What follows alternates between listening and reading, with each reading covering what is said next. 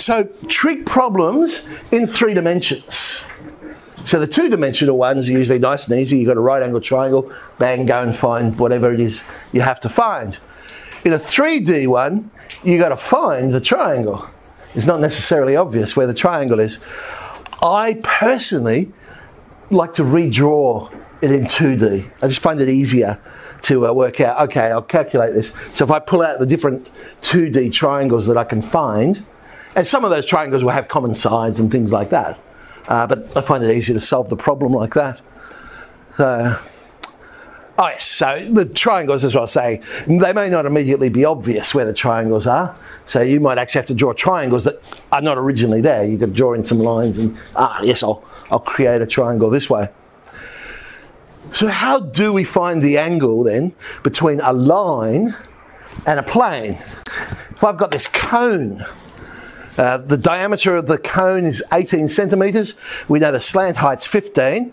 We want to find the angle the curved surface, well, curved surface area, makes with the base. Hang on, how's that going to create a triangle?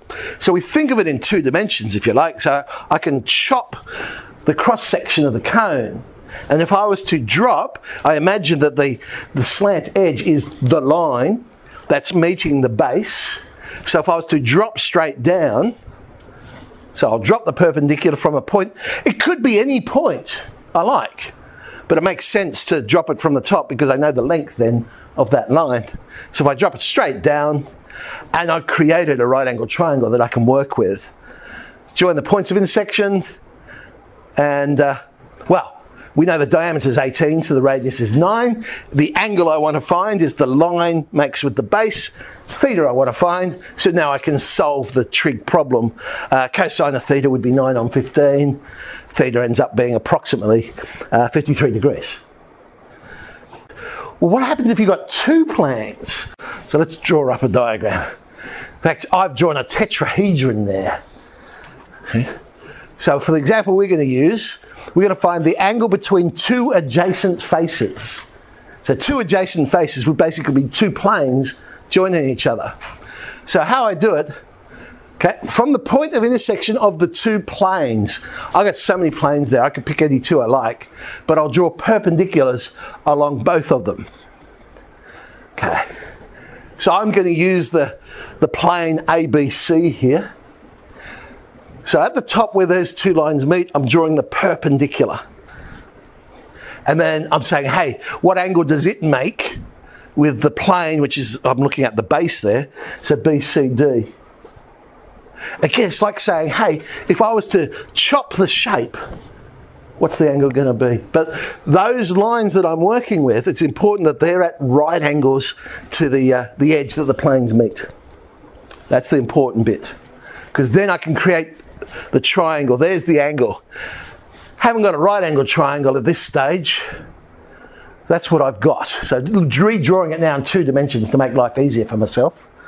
Uh, so we can see the triangle I'm talking about is ADE. We know the length, the red one there, because that's the edge of the tetrahedron. So that's A. The angle I want to find is between the two planes, so it's theta. All I've got is I know the length of A. I can't do trig with just knowing one side. I got to find the length of some other sides here. In this case, it involved using another triangle. And so the other triangle I used was ABC, because I know some information. If it's a regular tetrahedron, not only are those faces triangles, they're equilateral triangles. So I know that angle 60 degrees.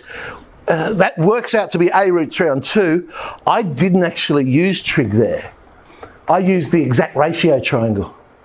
Because it was a, the classic 30-60 triangle, I know the sides are always going to be in the ratio 1 to root 3. So therefore, if AC is A, then AE must be A root 3 on 2. Of course, you could use trig to do it. Okay. Whilst we haven't talked about the cosine rule yet, um, hopefully you remember it. We will look at it again later, so don't panic if you don't remember it. But that will allow me to now solve the problem because both of these sides, AE and ED, are going to be the same. I've got three sides of a triangle. I should be able to find the angle using the cosine rule. So the cosine of theta would be 3a squared on 4 plus 3a squared on 4 minus a squared over 2 times. Tidying all that up, I get cosine theta is a third. Cosine theta is a third. So I get 70 degrees 32. Now, in the exercise we're about to do, I think everything is right angled triangles. I don't think you need to use a cosine rule to solve any of the problems. That's not to say you, if you see a use for it to make it quicker, you can't use it. But you should be able to solve it with right angled triangles. Here's an HSC one, going back to the year 2000. Uh, so a surveyor stands at point A, OT is a tower, uh, and they know the angle of elevation because they've got their little, what do they call them? Theodolites or, maybe they, right, out. I know the angle up there is 45 degrees. They then walk 100 metres due east.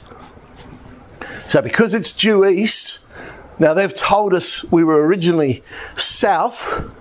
So if I've gone due east, that must be a right angle then, basically there. And now we have a look at the tower and it's 30 degrees. Okay. So we want to find an expression for OB. So the base of that right hand triangle there. So let's actually draw that right angle triangle.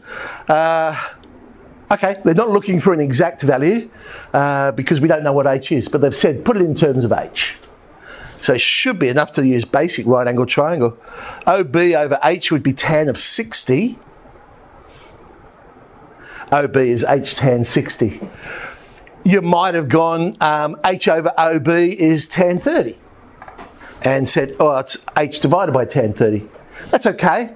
It didn't say what the expression had to be, just said it had to be in terms of h.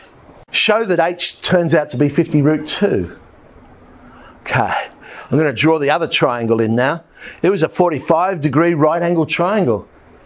That makes it uh, isosceles. So AO we know is also H. I'm now going to draw another triangle, and this one's the base of the picture. So we just worked out OA is H.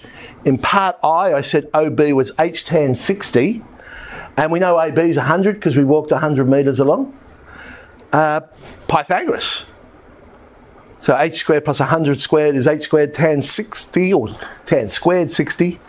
Rearranging all this eventually, We'll make h the subject, and there's the exact value, 100 over root 2. It's said to show us 50 root 2. So what is the bearing of, the of B from the base of the tower? So let's draw that up. So the bearing from the tower. So the compass is at the base of the tower and we want to know the bearing of B. So angle NOB is what we're trying to find. We know OA now is 50 root 2, we know AB is 100. So if I just find, well, that's the angle I have to find. But if I find AOB, subtract it from 180, we'll get our, our answer. So AOB, 54, 44. Subtract from 180, and there we go. 125.16